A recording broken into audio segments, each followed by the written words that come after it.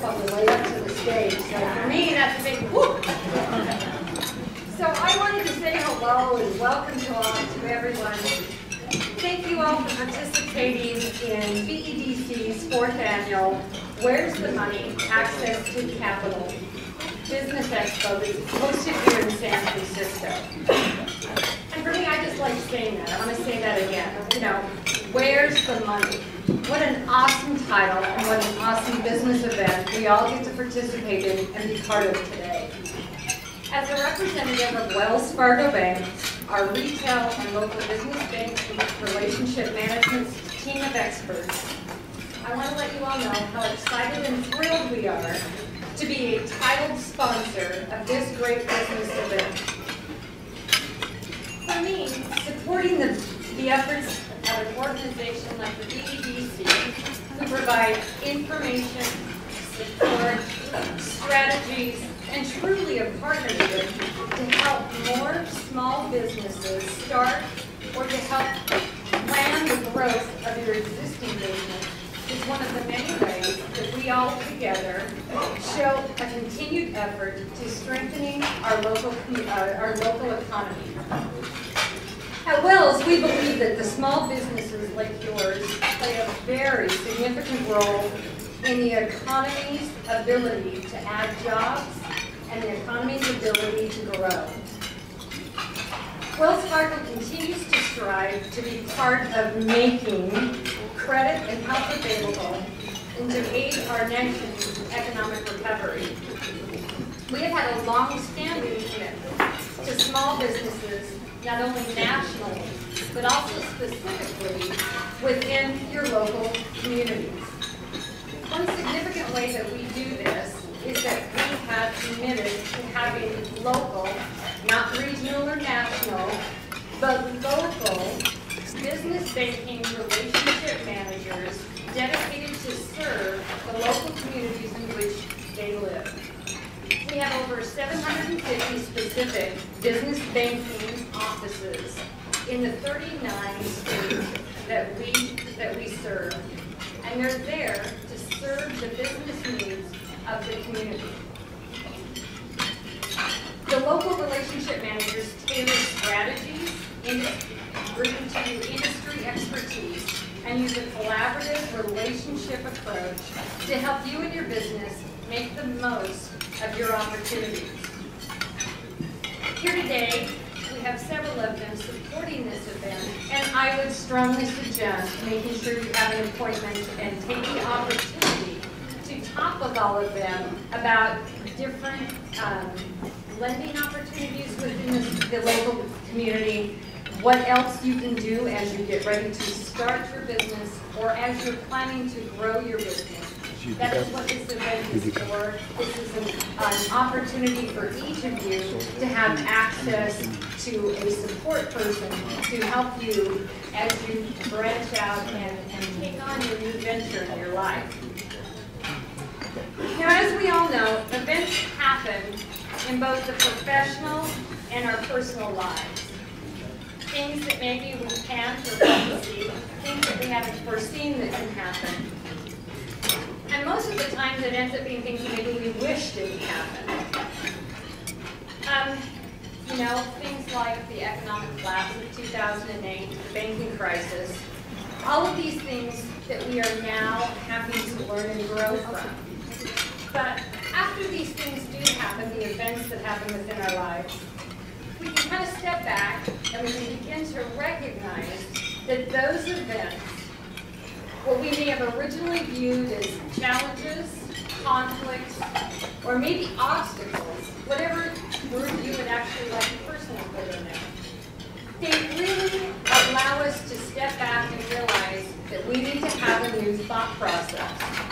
And that's truly the beginning of innovation. And innovation does not just start because we're sitting there and thinking what we might want to do. Innovation usually is grown from adversity, challenge, or an opportunity within you to do something different, to be something bigger, or to make something better. So what we want to do is create an opportunity to fix or change. We want to be an, an, an innovator, find a new path, and have a new direction. So our business and our personal life, to create innovation, one of the things that I have found is that we really have to challenge our own assumptions. You know, challenging our assumptions can be tough because most of the time we don't even realize that we have assumptions. But one of the most important and powerful things that we can as individual and business owners do is to stop and challenge all assumptions. Put it to the test. Think about different opportunities. Allow yourself the opportunity to be inventive by challenging your own assumptions. I had a chance not long ago to take a class. It was called um, it was called the Critical Thinking class. Now, I signed up for because who wouldn't want to take a class that was all about critical thinking, right? My assumption was I was going to get to learn how to strategically plan and think and, and you know, use use my my knowledge and become a better thinker. What I found out when I read the synopsis on the class was, what we want to do is help you think outside of the box, which is a term that I think was used a little too much these days. You know, I'm not really a box thinker. I'm more of a circle thinker. I kind of tend to think and do things over and over and over again. So use whatever you want to do. If you're a box thinker, that works. If you're a circle thinker like me, that'll work too. But it was it talked about challenging how you view everyday things, how you view problems, how do you actually move forward and give yourself the opportunity to be inventive and think of something new. So we had to do this exercise. And the exercise they had us do was close our eyes and imagine a glass of water, a clear, cool glass of water sitting on a stand. And this glass of water is filled to the halfway mark. And as you're looking at that, you're thinking, am I a positive or am I a negative thinker? Okay? So we all start imagining that glass of water. We start thinking about how do I view things. And before long, we all start having these discussions about I'm a positive thinker, I'm a negative thinker. You know, which one's right, which one's wrong. And somewhere along the way, we stopped thinking about what we were actually in the class for. What was it that I said we went into? To think outside of the box, think outside of the circle. We made an assumption. We made the assumption there can only be two choices. It could either be I'm a positive thinker or I'm a negative thinker. Well, then they instructed us and let us know that, you know what? There's another way to look at this. You don't have to look at the glass as half full. You don't have to look at the glass as half empty. What if we looked at it this way? There's enough water in that glass that I can take a drink and then I can walk over to the sink and fill it back up. It's just a different way of thinking. And it made me stop and realize that in a lot of different ways in life, we have to challenge our assumptions. We sat there with the assumption that we had to choose positive or negative. And when we assumed that, we stopped looking for choices. All right? Well, there are other choices, other opportunities, and other ways to view all the different situations. And we can open our mind when we powerfully challenge our assumptions and start thinking innovatively. So I had um, thought a lot about that, about assumptions and challenging those assumptions and innovative thinking. And I noticed that when, I don't know, maybe you've noticed this too, but when you're reading something or you hear a word or something, it seems like all of a sudden it just starts popping up everywhere that you look. And I was reading some articles recently about our economic um, situation that we're in, or the economic uh, position. You know, I was reading this one specific article that was talking about businesses, banks, and the 2008 crisis and where are we today. And I started noticing that all throughout the article, they, they started talking about innovation, okay? What this has done is created an innovative way for us to, to build a new path and have businesses and banking and our economy come together in a way that maybe we hadn't thought of before. So it also went on to talk about the fact that we have to challenge the assumption that there's no lendable money out there.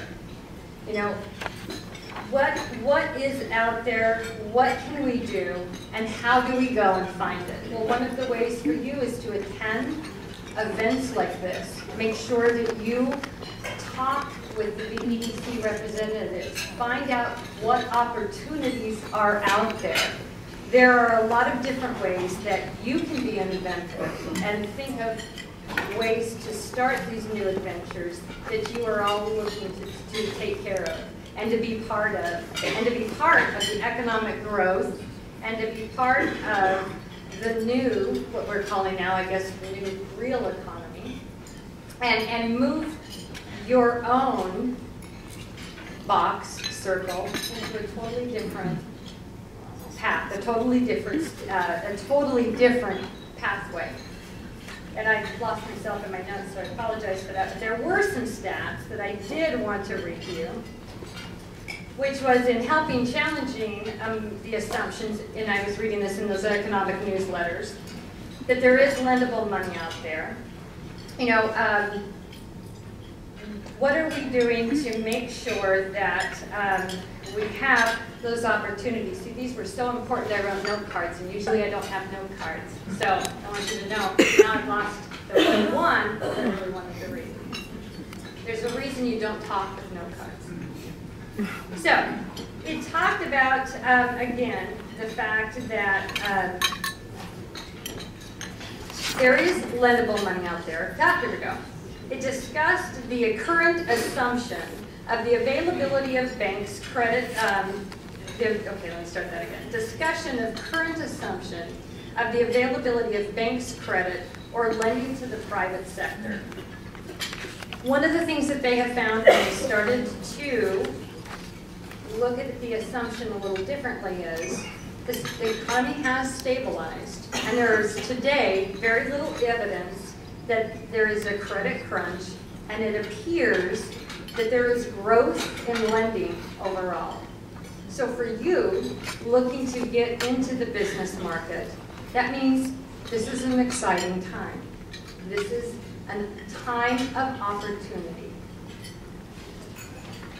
So I wanted to read to you too part of the stats that I found very, very impressive about Wells Fargo and our commitment to the communities and our commitment to small businesses and small business lending. Wells Fargo has loaned more dollars to small businesses than any other bank for nine consecutive years. And we remain committed to helping small businesses succeed financially.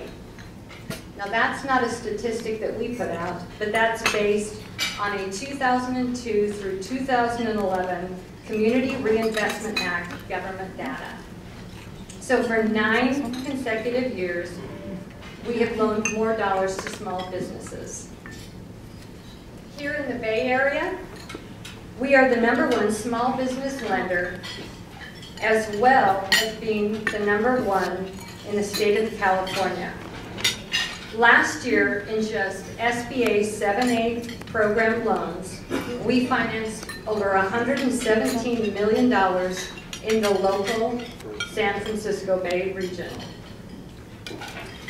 Nationally, we have approved a record $1.24 billion in SBA loans for America's small businesses in the federal fiscal year of 2012.